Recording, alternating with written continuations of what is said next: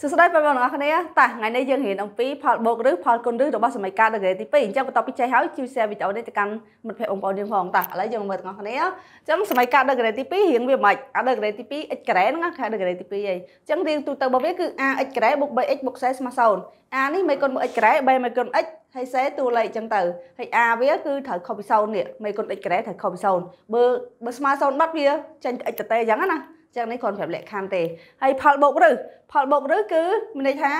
ឬហ្នឹងគឺ x អង x ដើមហៅឬហើយអញ្ចឹងផលបូកឬគ្រូតាំងដល់ x អងបូក x ដើអញ្ចឹងទៅ x1 បូក x2 ស្មើដក b លើ a x1 គុណ x2 ស្មើ c លើ a ក្នុងករណីនេះចែកថា x1 បូក x2 នេះគឺ សម័យកាលហ្នឹងគឺវាស្មើអញ្ចឹងហ្មងចែកថាយើងអាចស្រាយបានហើយប៉ុន្តែក្នុងករណីគេសួររកលំហាត់អីយើងមិនបាច់ចាំទៅរក data រក x អង x ដើហើយបូកចូលគ្នាបានចេញប៉ុណ្្នឹងឯងគឺធ្វើតាមអានេះយកហ្មងក៏បានដែរ x1 បូក x2 ស្មើដក b លើ a ហើយផលគុណឬវា x1 គុណ x2 ស្មើនឹង c លើ a ឥឡូវយើងចាំមើល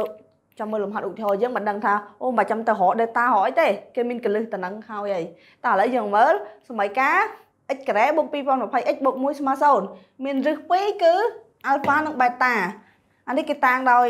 alpha និង beta គឺជាចំណោយរបស់ x អង x ហ្នឹងអញ្ចឹងណាគេខ្ជិលសេ x អង x គេសេ alpha និង beta នេះ alpha នេះ beta តារឹសវាគឺ alpha និង beta ដូច x អងមួយ x អញ្ចឹង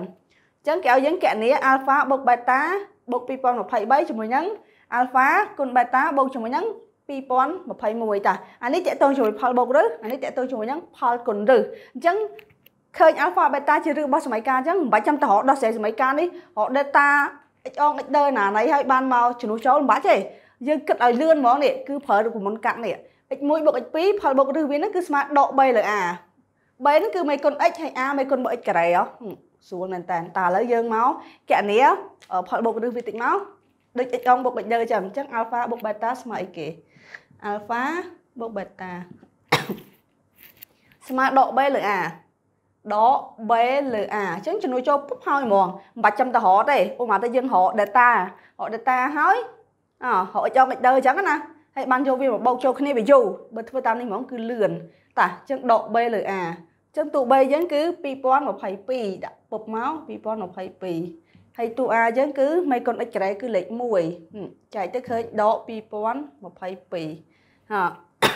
គេសួរ alpha បូក beta បូក2023អានេះទំ alpha បូក beta ហើយអញ្ចឹងយើងបូកមួយ2023ទៀតមកនាំឲ្យឬក៏គេបានមក alpha បូក beta គឺដូច x អងបូក x អញ្ចឹងបូកជាមួយនឹង2023ស្មើនឹងបូកមិញឃើញប៉ុន្មាននេះដក2022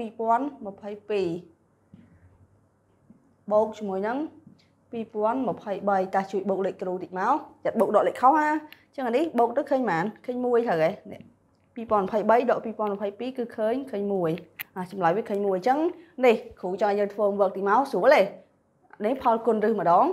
alpha គុណ beta បូកជាមួយនឹង2021អញ្ចឹង alpha គុណ beta ដូចដូចតិចអងគុណតិចដើអញ្ចឹងស្មើសេលើ a ហើយជំនួយចូលពុកមកសេលេខ1 a យើងក៏1ដែរហ៎ហើយបូកជាមួយ2021មកចម្លើយចេញមកអញ្ចឹងងាយខ្លាំងមែនតើតែគ្រាន់តែគ្នាយើងខ្លះថាអត់សូវ